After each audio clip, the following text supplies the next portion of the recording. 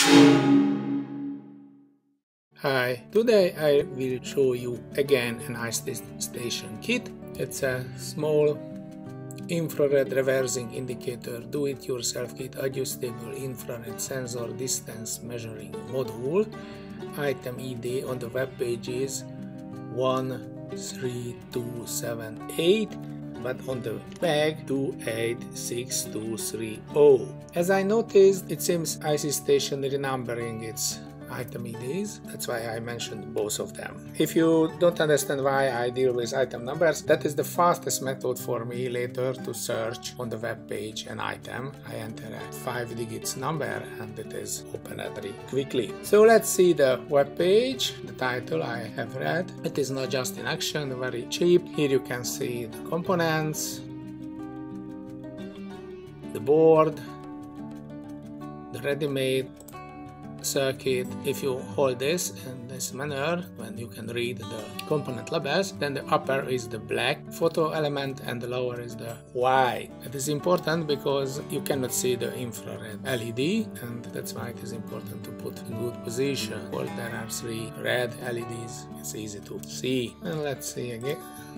The other yes and the bottom side. It is not pure copper luckily thin covered. I like it much more. So here you can see what can you do with it. It is a good application for your car at the back. If you drive backward then and uh, very close a wall or any object then you can use it. It says basically at 30 centimeters LED 3 will on 20 centimeter LED 2 will on 10 centimeters LED, one on. It's working from 5 to 9 volt, recommended is 5 volts. There are two trim pots for adjusting the sensitivity and the distance. And here you can see a lot of components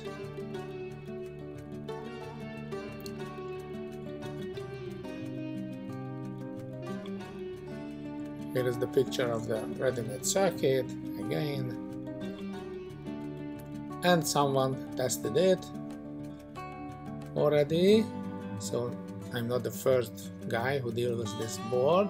And here is a video also. I have seen it and at the beginning he said a big mistake. And by measuring time delay between emitting the light and receiving it, it can determine how far the object is. He said this device working to measuring the time delay between the light is started and reflected and arrived back to the board. But let's see the connection diagram. Here you can see all the components are very low speed, low frequency elements. So it is not able to receive the time delay on 10, 20 or 30 centimeters because the light can go 300,000 kilometers per second so this time is unmeasurable with such a small elements and cheap devices. The working principle of this circuit is much different. It measures the reflected light intensity. If it is very close, then the intensity is higher. If it is farther, then the intensity is lower. And to avoid the static light from the measurement, like the sun or lamps or anything else, it has a 555 oscillator which produces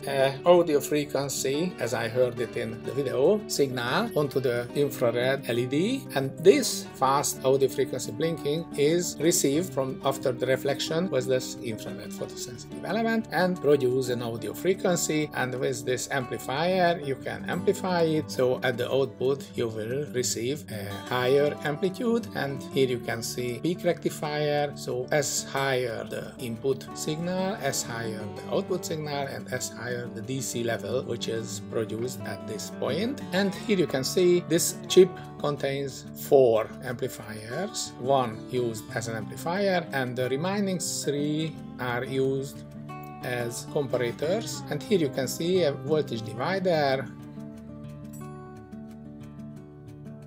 This is the lower voltage, the middle voltage and the higher voltage. And you can set these voltages with VR1 trim pot. And if the rectified value is higher than the value on the voltage divider, then this comparator will produce a low level, which is ground in this case, and this LED will on via this resistor to the power supply. And as higher the voltage, comparators turn off the output and the off means ground level so the LEDs are on. It means that if this LED is on that all the previous should be also on. And here you can set with this VR2 the amplification of this amplifier. So that's the principle of this circuit and let's see what is in the bag.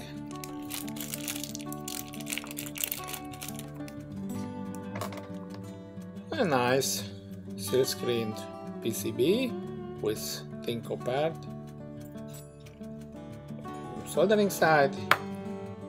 No, it's a socket, so you have to solder the ICs. Be careful the positions. It is marked on the board. So in this case, if you can read the labels then it is in good position and there are a lot of resistors.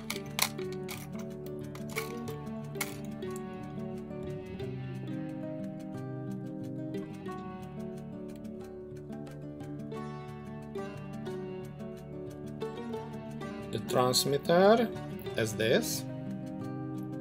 This is infra LED and this is the receiver has a special color to avoid the normal visible light. Here is a over connector and there is a small wire. Okay, let's assemble it.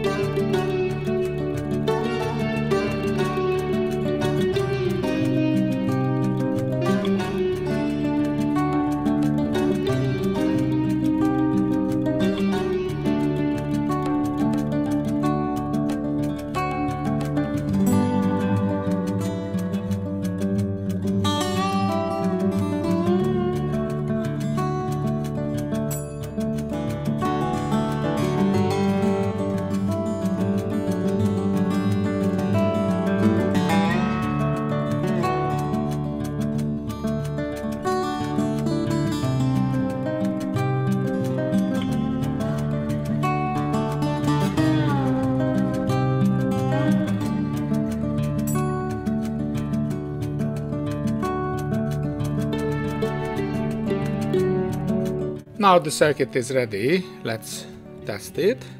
Luckily I have the same connector on my power supply. Maybe it is in the opposite. Be careful because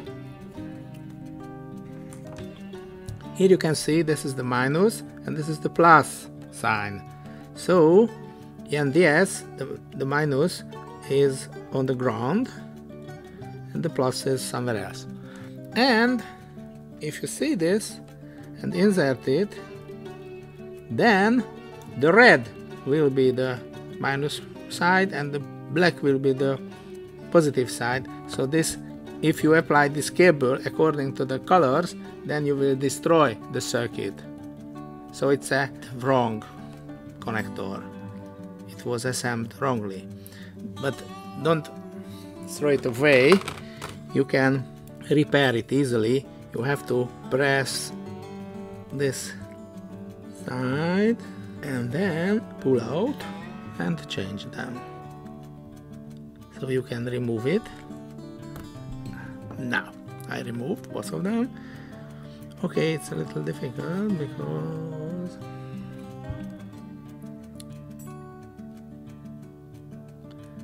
so that.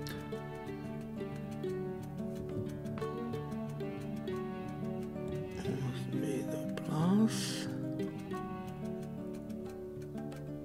And that is the minus. Okay now it yeah. So if you insert it now then it will be okay. Red is the positive black is the negative luckily my power supply has the right colors and the right polarity. So and oh and it's working. How can I show you?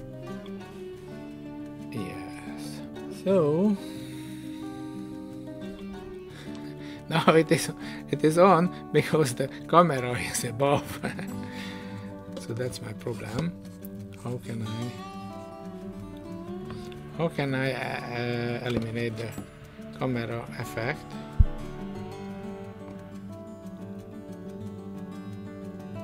So it's working fine. Where is the voltmeter? And the power supply is 5 volt okay?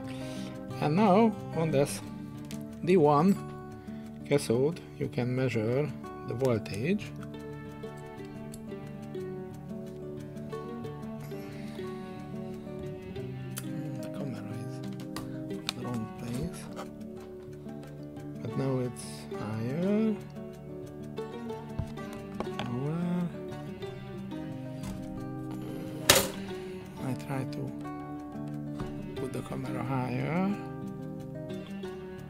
now the camera is a little higher and I set it to do not sense the distance between the board and the camera. So now it is working. Let's measure the voltage on C4 that's 0.1 volt.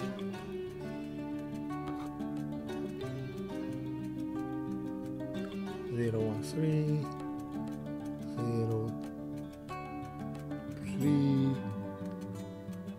Zero four five. So now it is working. Let's measure the frequency of the 555 oscillator on pin 3. We can measure it and it is 500 Hz as you can see. That is hearable on the other video, but that is a measurement so I'm saying that was enough from this small board. Don't forget you can buy it also on icstation.com. The link is in the description. I hope it will be valid in the future. And if you like this video, thumbs up, press the like icon. And if you haven't, subscribe to my channel. And if you think it will be interesting for you in the future, then please do it. And thank you for your watching. Have a nice day and goodbye.